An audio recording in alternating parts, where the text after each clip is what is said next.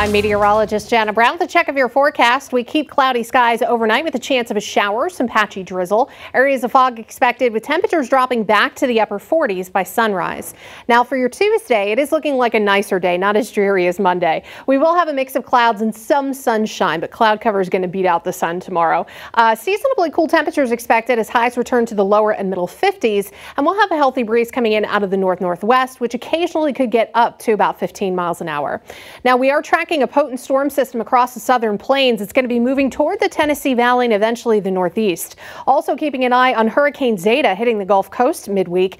This, uh, the remnants of this will get pulled into this storm system, so a soaking rain is looking likely starting Thursday afternoon. Heavy rain possible Thursday night to Friday morning, and then Friday gets cold. Highs only in the upper 30s. A transition over to snow is possible at the tail end of the storm. Right now, minor accumulations for the high terrain, but we may even see some snowflakes in the valley along with gusty breezes. We dry out for the weekend, but it is going to stay unseasonably cold, especially for Halloween.